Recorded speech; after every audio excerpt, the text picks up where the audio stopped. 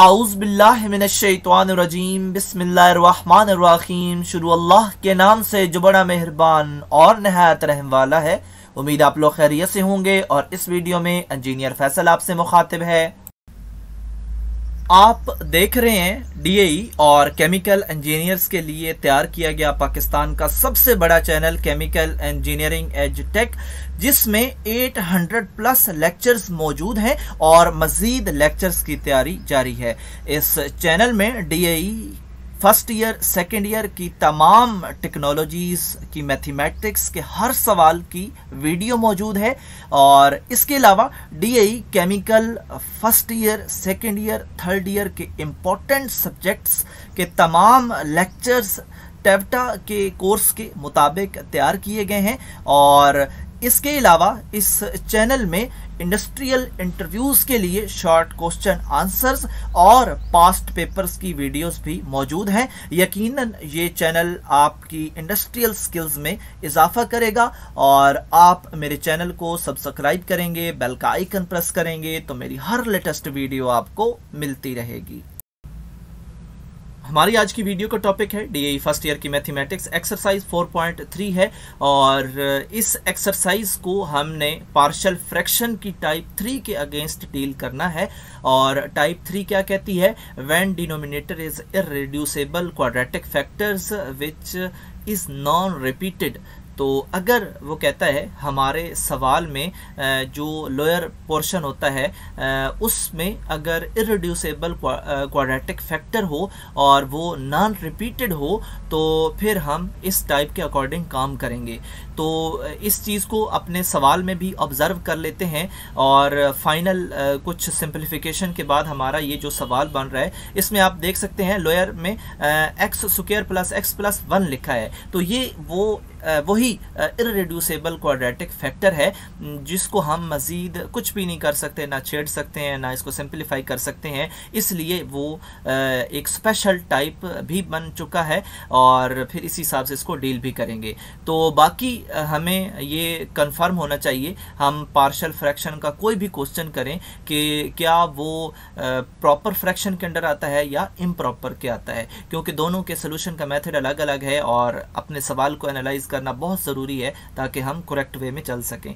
तो हमने अपना जो सवाल है, इसको अब डील करना है। यहाँ पे लोअर में है एक्स क्यूब नेगेटिव वन तो इसके दो पार्ट्स बन सकते हैं और इस तरह का एक सवाल और भी है एक्सरसाइज में और ये थोड़े ही सवाल होते हैं। इनका जो ये वाला सोल्यूशन है, ये आपको कुछ याद भी होना चाहिए और ये जब याद होगा तो हम आगे चल पड़ेंगे। और इस तरह यानी इन दोनों ब्रैकेट्स को अगर हम मल्टीप्लाई करें तो हम एक्स क्यूब नेगेटिव वन हासिल कर लेंगे। तो अब, क्योंकि ये दो पार्ट्स बन चुके हैं और इनमें एक पार्ट जो है वो वही इरेड्यूसेबल क्वाड्रेटिक फैक्टर वाला है। तो अब हमने जो है इनको कॉन्स्टेंट्स अलॉट करने हैं। पहले को हम ए दे देंगे, लेकिन दूसरे का हमने क्या इलाज करना है? हम इसको दो कॉन्स्टेंट्स बी और सी इकट्ठे देंगे और पहले कॉन्स्टेंट के साथ एक्स भी लगा देंगे। तो इस तरह हमारी इक्वेशन नंबर वन बन जाएगी। जब भी इक्वेशन नंबर वन बनती है तो हम इसी इक्वेशन की लेफ़्ट साइड पे आते हैं और जो लोअर पोर्शन होता है इसको उठाते हैं, इसको मल्टीप्लाई करते हैं लेफ़्ट साइड पे भी और राइट साइड पे भी तमाम फ़ंक्शंस के साथ। तो जब लेफ़्ट साइड पे मल्टीप्लाई करेंगे तो हमारे पास रह जाएगा वन और राइट साइड पे करेंगे तो जो नीचे एक्स नेगेटिव वन खड़ा है, ये इसके साथ कैंसिल होगा और ए के साथ आएगा x square plus x plus one और बी एक्स प्लस सी के साथ जब इस पूरे फ़ंक्शन को मल्टीप्लाई करेंगे तो of course x square plus x plus one cancel हो जाएगा और रह जाएगा एक्स नेगेटिव वन और हम हासिल करेंगे इक्वेशन नंबर टू तो जब भी इक्वेशन नंबर टू हमें हासिल होती है तो हम जाते हैं जी इक्वेशन नंबर वन के पास और देखते हैं कि इस कि किसी कांस्टेंट के नीचे आ, कोई ऐसी ब्रैकेट मिले जिसके ना ऊपर सुकेयर हो ना अंदर सुकेयर हो। तो उसमें से हम एक्स की वैल्यू निकाल सकते हैं और निकालेंगे और फिर उसको फ़ीड करवाएँगे इक्वेशन नंबर टू में और जो है उसके अगेंस्ट हम कोई ना कोई वैल्यू हासिल करेंगे किसी न किसी कॉन्स्टेंट की। तो यहाँ पे हमने x negative one is equal to zero अगर करें तो जो वन है वो शिफ्ट होगा दूसरी साइड पे और उसका साइन चेंज हो जाएगा। तो अब हमने x is equal to one को इस इक्वेशन नंबर टू के लेफ़्ट और राइट साइड पे फ़ीड करवाना है। लेफ़्ट पे ऑलरेडी वन है तो इसमें फीडिंग नहीं होगी। Of course right side side पे ज़रूर होगी और फिर इसमें जो सिंप्लीफिकेशन है, उसके बाद हम ए की वैल्यू मालूम कर लेंगे। और इसके बाद हमने और कितनी वैल्यूज़ मालूम करनी है? बी और सी की भी करनी है। और इनके नीचे जो पोर्शन है यहाँ पे ब्रैकेट्स हैं, इनके अंदर एक्स स्क्र मौजूद है तो इसके लिए हम कंपेयरिंग का मेथड इस्तेमाल करते हैं। और अगर जो एक्सरसाइज 4.2 थी, वहाँ पे होल का सुकेयर भी इन्वॉल्व होता था तो उसके लिए भी जो है वो हम कंपेयरिंग का मेथड इस्तेमाल करते हैं।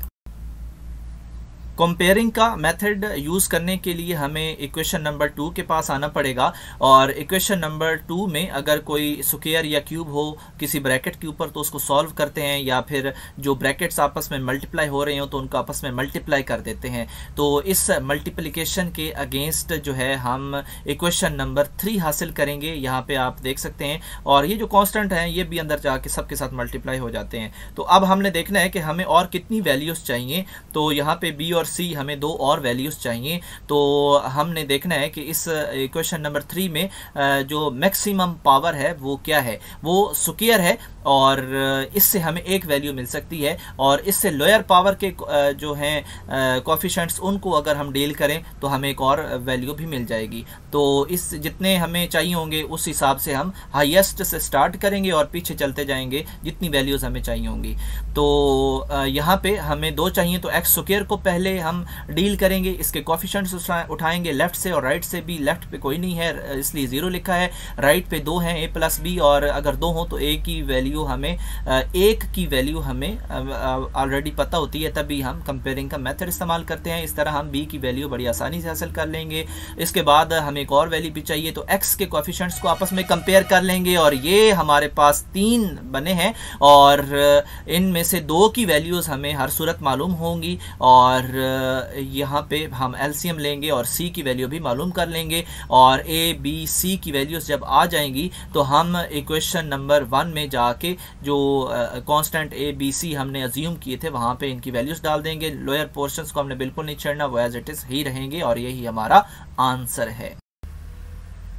अब हमने कंपेयरिंग का मेथड इस्तेमाल करना है और कंपेयरिंग के लिए हम इस इक्वेशन में जो सबसे हाईएस्ट पावर होगी, उसको पहले डील करेंगे और यहाँ पे हाईएस्ट पावर एक्स की पावर क्यूब है।